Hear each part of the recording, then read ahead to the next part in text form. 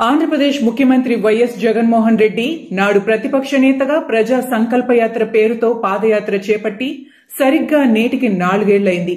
ఈ నేపథ్యంలో నాడు ప్రతిపక్ష నేతగా నేడు ప్రభుత్వ పాలకుడిగా జగన్మోహన్ రెడ్డి వ్యవహరిస్తున్న తీరుపై రాజకీయ విశ్లేషకులు తమదైన శైలిలో స్పందించారు. జగన్ ప్రభుత్వం చేపట్టిన నాడు నేడు కార్యక్రమంలో వలె నాడు ప్రతిపక్ష నేతగా నేడు ముఖ్యమంత్రిగా జగన్ వ్యవహార శైలిని వారు విశ్లేషాత్మకంగా వివరించారు. ముఖ్యమంత్రిగా వైఎస్ జగన్ అధికారం చేపట్టిన నాటి నుంచి ఆంధ్రప్రదేశ్లో చోటు చేసుకున్న పరిణామాలను సైతం వారు సోదాహరణతో వివరిస్తున్నారు. భవన నిర్మాణ రంగంలో ఇసుక కొరత మహిళలపై అఘాయిత్యాలు మద్యపాన నిషేధం చేస్తానని చెప్పి కొత్త మద్యం బ్రాండ్లను తీసుకురావడమే కాకుండా వాటిని అధిక ధరలకు విక్రయిస్తున్నారని వారు విమర్శిస్తున్నారు. ఈ మద్యం తాగిన ప్రజలు తీవ్ర అనారోగ్య సమస్యలు ఎదుర్కొంటున్నారని వారు ఆందోళన చెందుతున్నారు. పథకాల పేరుతో ప్రజల బ్యాంకు ఖాతాల్లో నగదు వేసి జనాన్ని సోమరిపోతులుగా తయారు చేస్తున్నారని రాజకీయ విశ్లేషకులు ఆరోపిస్తున్నారు. అంతేకాకుండా నిత్యావసర ధరలు ఆకాశాన్నంటాయి. దాంతో పథకాల పేరుతో ఈ చేత్తో నగదు ఇచ్చి ఆ చేత్తో తీసుకుంటున్నారనే అపవాదు జగన్పై ప్రజల్లో ఉందని అన్నారు. గత టీడీపీ ప్రభుత్వంలో ఏర్పాటు చేసిన అమరావతి రాజధాని కాదని రాష్ట్రానికి మూడు రాజధానులు అంటూ ప్రకటన చేసి సీఎం జగన్ ప్రజలను అయోమయానికి గురి చేస్తున్నారని వారి మండిపడుతున్నారు.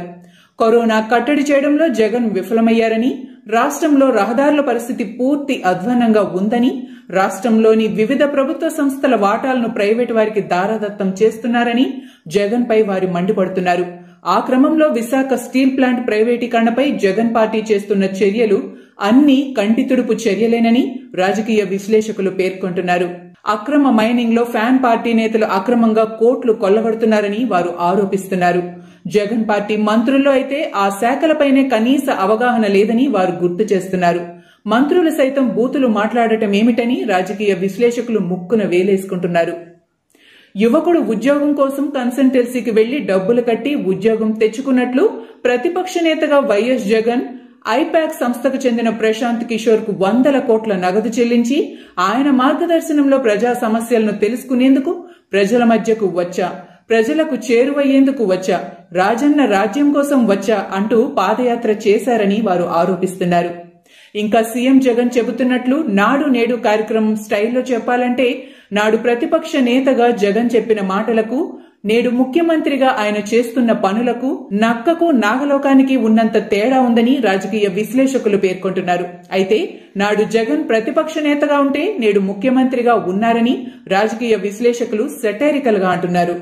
మరిన్ని ఇంట్రెస్టింగ్ అప్డేట్స్ కోసం తప్పకుండా మా ఛానల్ని సబ్స్క్రైబ్ చేయండి. Thank you for watching